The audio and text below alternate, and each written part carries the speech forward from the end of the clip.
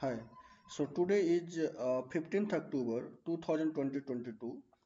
So FSSAI has released one gazette notification yesterday that is dated on 14th October 2022 and it is re regarding amendment of FSSAI FSS labeling and display regulation 2022. So this is the second amendment and let's see what changes has been done so first thing this amendment will be effective from 1st May 2013 so all the contents which are in this um, uh, amendment it is going to be effective from 1st May 2023 now this amendment will be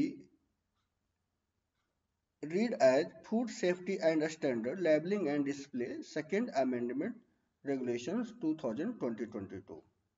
So one major changes is like pan masala manufacturers while packaging they have to declare this warning. Warning means chewing of pan masala is injurious to health. So this warning need to cover at least 50% of the front of the pack so 50% of the front of the pack need to be covered. It should be like uh, uh, other ways it means font size should be more. Okay, so 50% should cover. Now another major changes is it is regarding it is regarding uh, labeling of various types of breeds. So there are they have identified five major category of breeds. So fifth category of the breed has been subdivided into several parts. Okay. So what is changes there? Changes is how to nominate breeds. So if you are selling your product as whole wheat bread, so major ingredient will be whole wheat flour. Whole wheat flour means atta. Okay and the content of whole wheat flour in uh, whole wheat flour in the uh, whole wheat bread should be minimum 75%. Minimum 75% means when you are uh, weighing flour for making whole wheat bread, so per 100 gram, your whole wheat flour should be the 75 gram. So like this.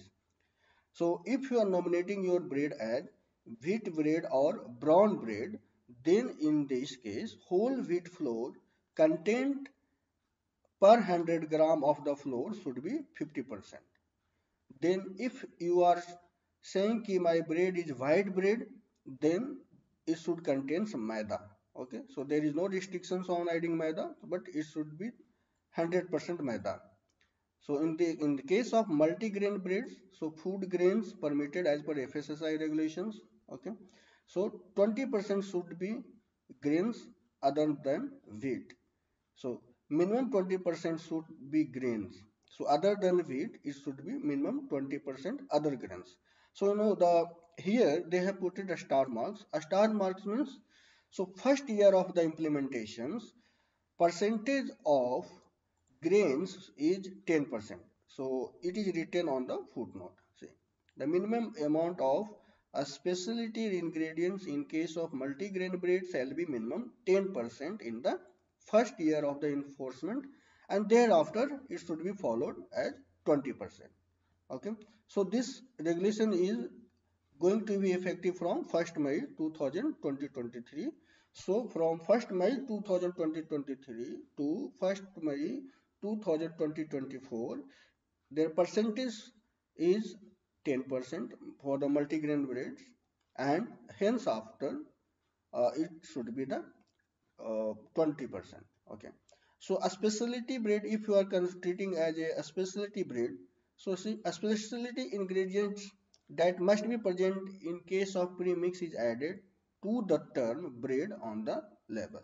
So what is the specialty uh, bread if you are saying milk bread honey bread cheese bread know, oatmeal bread cracked wheat bread bread with wheat germs uh, egg bread then there are milk I mean, so the major constituents okay their percentage should be like this. So this is the minimum. Maximum you can go for 7% 10% as per your wish but this content should be the minimum. So that's how you can now nominate your bread okay so this has got approval from S. Gopalakrishnan. So he is the new uh, chief executive officers.